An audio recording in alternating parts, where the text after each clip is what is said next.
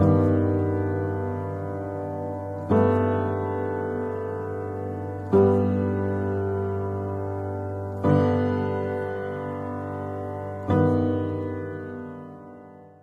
Hi friends welcome back to my channel അപ്പോൾ ഇന്നലത്തെ video എല്ലാവർക്കും കണ്ട് ഇഷ്ടപ്പെട്ടെന്ന് കരുതുന്നു.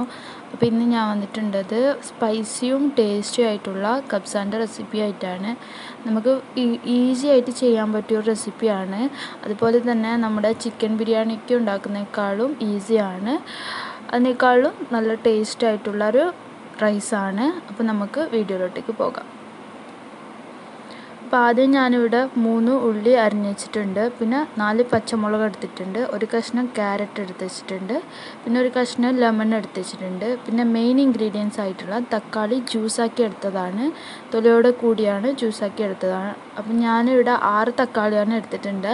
നിങ്ങളനുസരിച്ചിട്ട് എടുക്കുക പിന്നെ ചിക്കന് എടുത്ത് വെച്ചിട്ടുണ്ട് ആവശ്യത്തിന്. പിന്നെ ജിഞ്ചർ ഗാർലിക് പേസ്റ്റ് എടുത്തിട്ടുണ്ട്.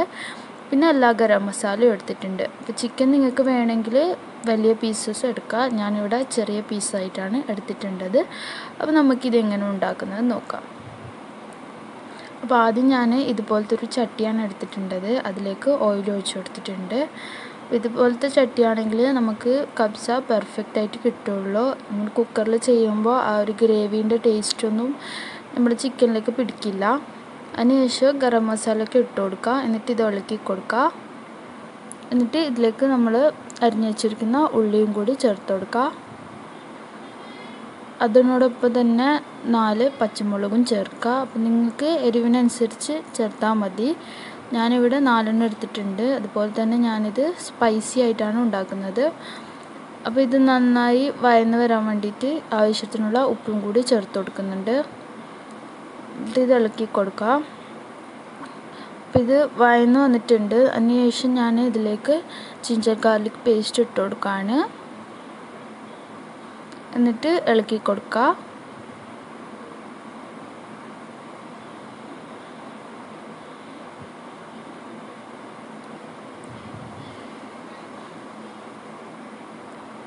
അപ്പം ഞാനിതിലേക്ക് നോർമലായിട്ടുള്ള പൊടികളാണ് ചേർത്ത് കൊടുക്കുന്നുണ്ടത് നമ്മൾ എക്സ്ട്രാ പൊടിയൊന്നും ചേർത്ത് കൊടുക്കുന്നില്ല. ഞാൻ രണ്ട് സ്പൂണ് മല്ലിപ്പൊടി ചേർത്ത് കൊടുത്തിട്ടുണ്ട്. പിന്നെ രണ്ട് സ്പൂണ് മുളക് പൊടി ചേർത്ത് കൊടുക്കുകയാണ് അതിനുശേഷം നമ്മുടെ ഈ പൊടീന്റെ ആ പച്ചമണം മാറുന്നവരെ ഇളക്കി കൊടുക്കുക.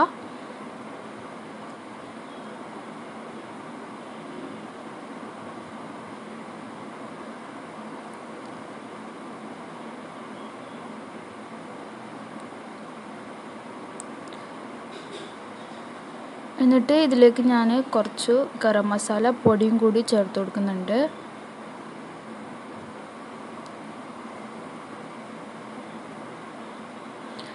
അപ്പോൾ നമ്മൾ മെയിൻ ഇൻഗ്രീഡിയൻസ് ആയിട്ടുള്ള തക്കാളി ജ്യൂസും കൂടി ഇതിലേക്ക് ഒഴിച്ചു കൊടുക്കാം. എന്നിട്ട് ഈ തക്കാളിയുടെ പച്ചമണം മാറുന്ന വരെ ഇളക്കി കൊടുക്കുക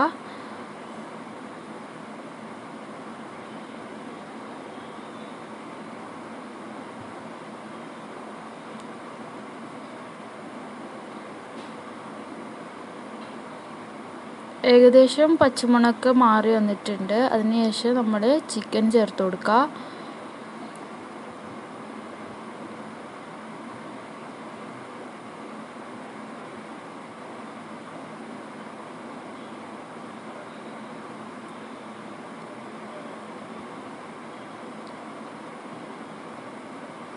അപ്പം നിങ്ങൾ കബ്സക്ക് ചിക്കൻ എടുക്കുമ്പോൾ തൊലിയോട് പോയിട്ടുള്ള ചിക്കൻ എടുക്കുക ഞാനിവിടെ ഉണ്ടതാണ് നിങ്ങൾക്ക് കാണിച്ചു തരുന്നത്. അപ്പോൾ നിങ്ങൾ തൊലിയോട് കൂടിയുള്ള ചിക്കൻ എടുത്താൽ നല്ല ടേസ്റ്റാണ് കഴിക്കാൻ അപ്പോൾ അതുപോലെ തന്നെ വലിയ പീസസ് ആയിട്ടും എടുക്കുക എന്നിട്ട് നമ്മുടെ ഈ മസാലയ്ക്ക് ഈ ചിക്കനിലേക്ക് പിടിപ്പിച്ച് കൊടുക്കുക അതിനുശേഷം കുറച്ച് മഞ്ഞൾപ്പൊടി ചേർത്ത് കൊടുത്തിട്ട് അതിനും കൂടി നന്നായി ഇതിലേക്ക് മിക്സ് ചെയ്ത് പിടിപ്പിച്ച് കൊടുക്കുക എന്നിട്ട് ഇതേ മസാലയിൽ തന്നെയാണ് ഞാൻ ഇത് നന്നായി വേവിച്ചെടുക്കുന്നത്. അപ്പം നന്നായി വേവിച്ചെടുക്കുക അപ്പം നമ്മുടെ ചിക്കനൊക്കെ വെന്ത് വന്നിട്ടുണ്ട്. അപ്പോൾ അതിനെ ഞാൻ ഈ മസാലയിൽ നിന്ന് മാറ്റുകയാണ് അപ്പോൾ ഇതേ മസാലയിൽ തന്നെയാണ് നമ്മുടെ ചോറ് ഉണ്ടാക്കുന്നത്.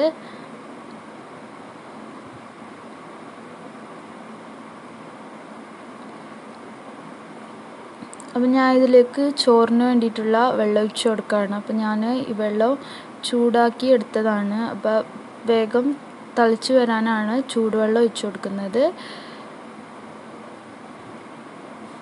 പെട്ടെന്ന് ആവണമെന്നുണ്ടെങ്കിൽ അങ്ങനെ ചെയ്താൽ മതി. അപ്പം ഞാനിതിലേക്ക് രണ്ട് പാട്ട വെള്ളം ഒഴിച്ച് കൊടുക്കുകയാണ്. അപ്പോൾ ഇതുപോലത്തെ ഒരു ഇതിലാണ് ഞാൻ അരി എടുത്തിട്ടുണ്ടത്. അപ്പോൾ ഇതിലൊരു ഒരു മഗ്ഗാണ് ഞാൻ എടുത്തിട്ടുണ്ടത്. അതിനുശേഷം നമ്മുടെ അരി ഇട്ട് കൊടുക്കുക ഇപ്പോൾ വെള്ളം തിളച്ച് വന്നിട്ടുണ്ട്. ഇനി നമുക്ക് അരി ഇട്ട് കൊടുക്കാം.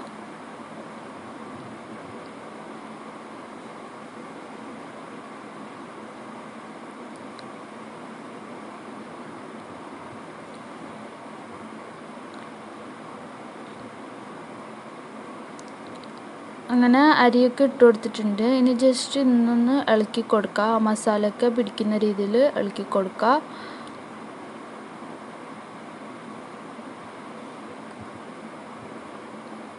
ഇളക്കിയതിന് ശേഷം ഇതിലേക്ക് ഞാൻ കുറച്ചു ലെമൺ ജ്യൂസ്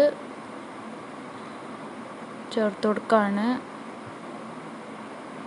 അതിനുശേഷം ഞാൻ ഈ മസാലയിൽ നിന്ന് എടുത്ത് വെച്ചിരിക്കുന്ന ചിക്കന് ജസ്റ്റ് ഫ്രൈ ചെയ്തെടുക്കുകയാണ് അപ്പോഴാണ് ഇതിലേക്ക് എക്സ്ട്രാ ടേസ്റ്റ് വരുന്നത്.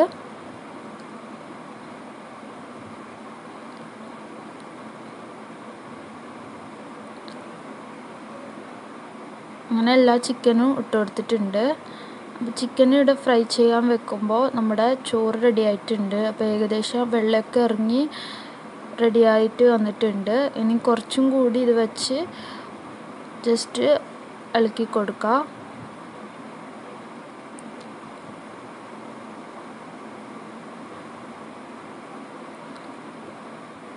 അപ്പോൾ ഏകദേശം നമ്മുടെ ചോറ് റെഡി ആയിട്ടുണ്ട്. അതുപോലെ തന്നെ ഞാൻ ഫ്രൈ ചെയ്ത് എടുത്തു വെച്ചിട്ടുണ്ട്. എന്നിട്ട് നമുക്ക് സെർവ് ചെയ്യാം.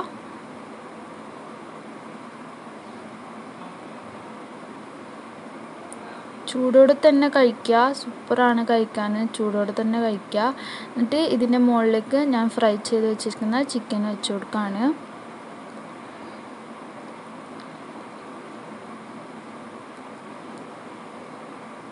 അങ്ങനെ ചിക്കനൊക്കെ വെച്ച് ഞാൻ എല്ലാം റെഡിയാക്കി വെച്ചിട്ടുണ്ട്. അതുപോലെ തന്നെ ഞാൻ രണ്ട് പച്ചമുളക് കൂടി കുത്തി കൊടുത്തിട്ടുണ്ട്. പിന്നെ കുക്കുംബറും വെച്ചിട്ടുണ്ട്. ക്യാരറ്റ് ജസ്റ്റ് മുകളിലേക്ക് ഇങ്ങനെ ഏറി കൊടുത്തതാണ്.